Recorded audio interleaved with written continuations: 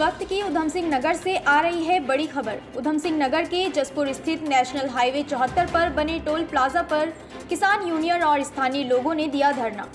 Toll plaza पर बीते दिनों एक युवक से मारपीट के बाद कार्रवाई न होने से नाराज़ थे लोग। टोल प्लाजा कर्मचारियों के खिलाफ कार्रवाई को लेकर दिया धरना।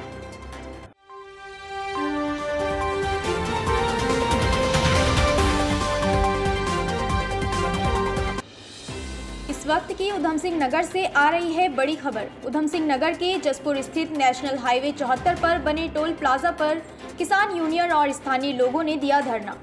टोल प्लाजा पर बीते दिनों एक युवक से मारपीट के बाद कार्रवाई न होने से नाराज़ थे लोग। टोल प्लाजा कर्मचारियों के खिलाफ कार्रवाई को लेकर दिया धरना।